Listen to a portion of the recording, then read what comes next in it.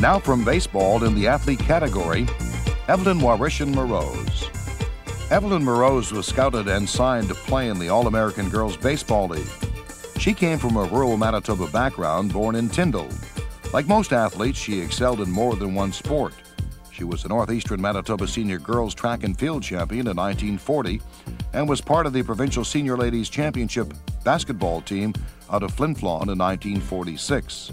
And she was the top scorer on the Winnipeg Senior Women's Hockey team that won both Western and Eastern Canadian finals in 1950. However, baseball was really Evelyn's passion. She made people take notice of her talent, along with that of previously Manitoba Sports Hall of Fame inductee Olive Bend Little. In 1945, both were members of the provincial champion CUAC Blues fastball team. Evelyn was team MVP, winning the Coleman Trophy. History doesn't record if Evelyn was pulled away from milking cows to show her abilities to the scouts, but she obviously made an impression at a large camp in Chicago, at which time she was selected for one of the six teams. Evelyn wasn't a Rockford Peach, but she played five seasons for the Muskegon Lassies at second base and in the outfield. The Lassies were the 1947 American pennant winners. Individually, in the five seasons she played, Evelyn hit 265 in 544 games.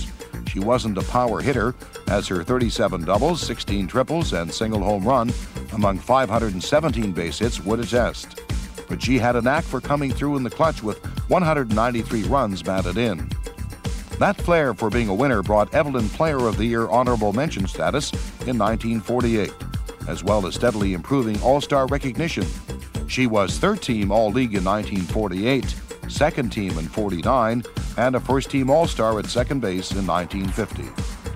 Evelyn Moroz was in Cooperstown, New York in 1989 when Baseball's Hall of Fame recognized her contribution to the All American All Girls Baseball League.